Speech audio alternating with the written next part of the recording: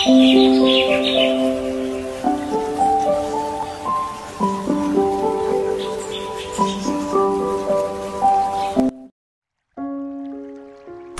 menikahi anak Pak Ustadz. Bab 135 Khalisa tersenyum dan menganggukkan kepala. Dia kemudian meraih tangan ibu mertuanya dan menyapanya. Alda kemudian tersenyum juga seraya menyapa singkat. Kepala Khalisa. Denis. Jaga Khalisa baik-baik. Tegas Alda, kepada Denis. Ya, jangan ya, ya, saja. Ya, Ma. Dennis mengulangi ucapannya. Bagus. Ayo, Mas, kita pulang, ajak Alda, kepada Yuda. Usai kepulangan Yuda dan Alda, Khalisa berusaha menormalkan sikapnya. Dia tetap berusaha seperti biasa dan tidak lagi merasa takut atau malu kepada tatapan teman-teman. Dennis kepadanya. Selamat, ya, Khalisa. Kamu mendapatkan bintang kampus. Benar, Khalisa, kamu sangat beruntung. Kalau berita pertunangan kamu dengan Dennis tersebar di semua fakultas, aku yakin akan gempar. Ucapan-ucapan selamat Khalisa terima. Namun, Khalisa hanya menjawab dengan senyuman. Sedang, sejak tadi, Dennis menatap kedua mata Khalisa begitu dalam. Selamat, Khalisal kamu ternyata sudah tunangan sama Kak Denis. Pantesan Kak. Denis sesekali perhatian sama kamu, kata Aluna, mengulurkan tangan kepada Khalisa. Khalisa menjabat tangan Aluna. Aluna kemudian memerhatikan jari manis Khalisa yang sudah dilingkari sebuah cincin di sana. Pandangan Aluna juga beralih ke jari manis Denis. Wal ini cincin tunangan kamu sama Kak Denis, ya. Cantik banget, ujar Aluna. Khalisa tidak menjawab. Pun, Denis tidak memberikan penjelasan apa pun untuk semuanya. Lun, kita kembali ke FKIP saja, ajak Khalisa. Eh, gak kangen sama tunangan kamu. Aku, sih, gak akan mau jauh-jauh dari kak. Denis kalau aku di posisi kamu, kata Aluna. Tadi, kamu bilang tunangan, kan? Kalau kamu baru tunangan, itu artinya gak boleh. Dekat-dekat dulu, jawab Khalisa. Hehel tapi, kalau ke Kak Denis kayaknya aku lain lagi, deh. Sayangnya, Kak Denis, sudah punya calon istri. Gak apa-apa, deh, yang penting calon istrinya adalah teman aku, balas. Aluna. Khalisa hanya memberikan senyuman. Dia kemudian menoleh ke arah Dennis dan menganggukkan kepala. Saya mau ke gedung FKIP dulu, Kak Dennis. Sekali lagi, selamat, ucap Khalisa. Dennis tidak menjawab. Dia menatap dingin Khalisa. Lelaki itu terlihat berjalan ke belakang dan mengambil sesuatu. Tunggu, cegah Dennis, kepada Khalisa yang hendak melangkah pergi. Khalisa menghentikan langkah dan berbalik badan. Iya, ini untukmu. Dennis memberikan sebuah buket bunga dan paper bag kepada Khalisa. Khalisa mengerit. Ini, kan, pemberian teman kamu buat kamu, kak. Bukan. Ini saya yang beli untuk kamu. Mahasiswa yang ada di sana masih memerhatikan mereka berdua dengan rasa penasaran. Untuk saya, Khalisa memperjelas, kenapa? Saya gak sempro. Ya, tapi, pasangan kamu yang sempro, kan? Kamu juga berhak mendapatkan ucapan. Selamat, jawab Dennis. Jujur saja, mereka yang awalnya bersemangat untuk mengejar cinta Dennis setelah kabar Dennis yang sudah putus dengan Alara, kini mereka dipatahkan oleh kenyataan. Ternyata, Dennis sudah bertunangan dengan Halisa, pikir mereka. Halisa menerima bunga dan paper bag dari Dennis. Terima kasih, Kak Dennis. Ya. Dennis melintas di samping Halisa, ingat hadiahku di rumah nanti, bisiknya. Khalisa menelan selaiva. Sungguh, Dennis selalu bisa membuat jantungnya tidak aman. Seperti ini. Iya, jawab Khalisa, lirih. Khalisa kemudian mengajak Aluna pergi dari sana.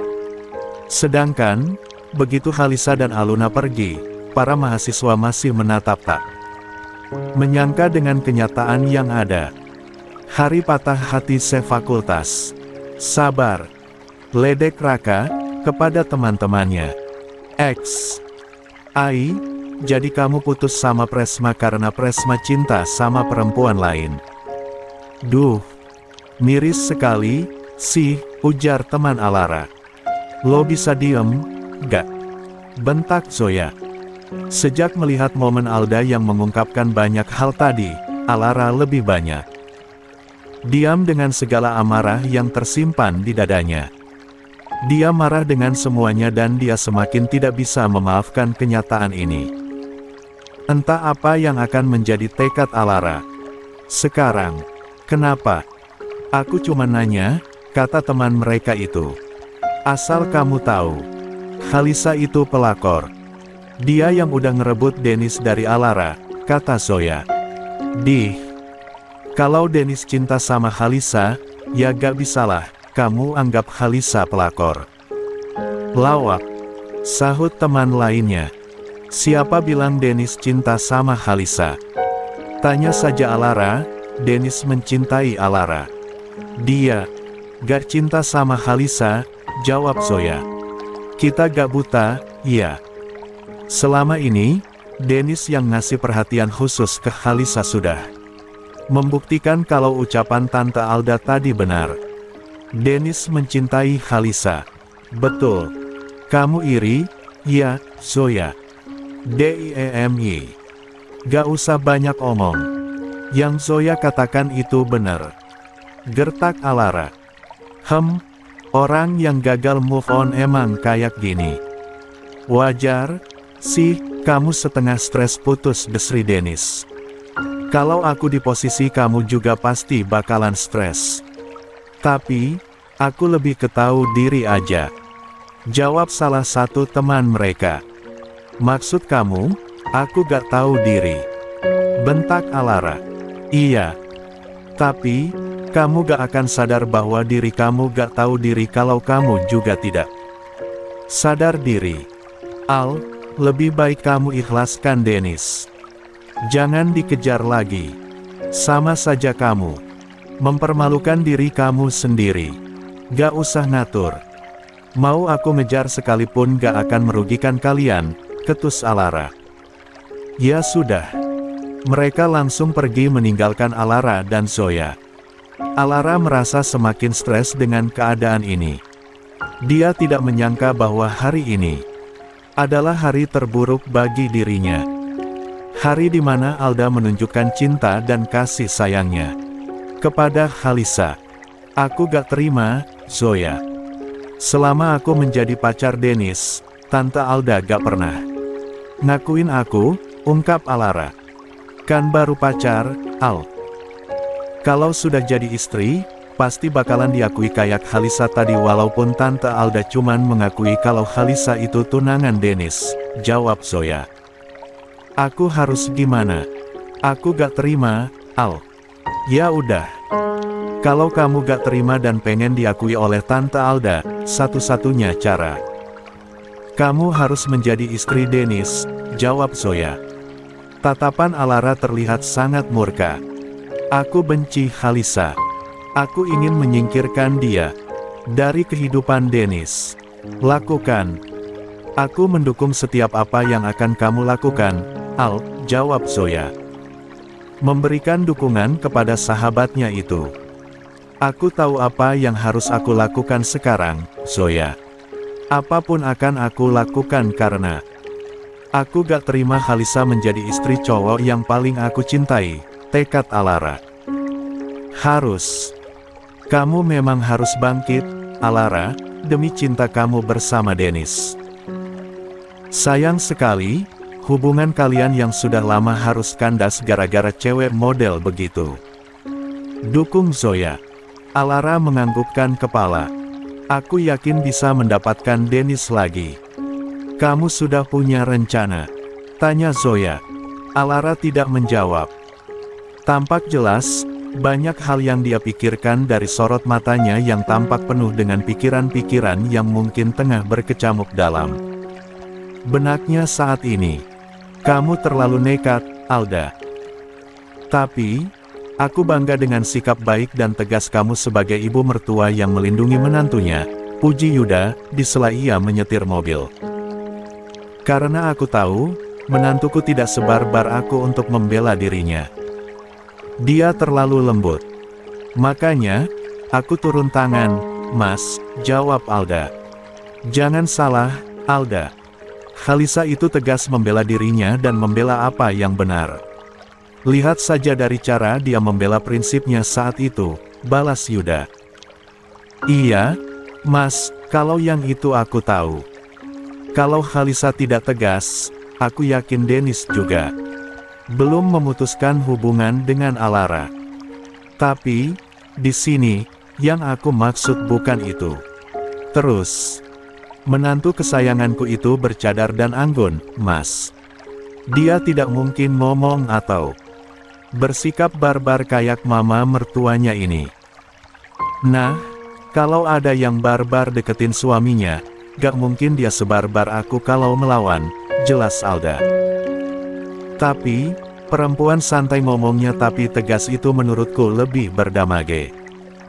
Alda tertawa kecil mendengar kata terakhir suaminya. Iya. Tapi, Mas, ada tipe orang yang ngeyel dan keras kepala. Dia cuman bisa sadar kalau sudah kena bogeman. Mentah-mentah. Astagfirullah. Kamu beneran barbar, Alda. Yuda menggelengkan kepala. Harus. Biar kamu juga gak macem-macem sama aku. Gak pernah. Alda tersenyum lega. Sungguh, dia merasa lega mengingat apa yang dia lakukan tadi. Menurutnya, Pembelaannya terhadap Halisa tadi sudah cukup memuaskan. Kamu sangat menyayangi Halisa, Alda. Tanya Yuda. Oh, gak usah ditanya itu, mas. Aku sangat menyayangi anak itu. Bagiku, Halisa sudah seperti anak kandungku sendiri, jawab Alda, yakin. Syukurlah. Aku senang mendengarnya. Iya, mas, Semoga kamu juga menyayangi menantu kamu, balas Alda. Pasti. Aku sayang kepada kalian semua, ungkap Yuda. Rasanya, begitu damai dalam keadaan seperti ini. Harapan Yuda dan Alda sudah terkabulkan menurut mereka karena sejak dulu, Yuda dan Alda memang sangat berharap mempunyai menantu yang bisa membawa Dennis kembali ke salah satu jati dirinya. Khalisa adalah harapan kita, kata Yuda. Benar.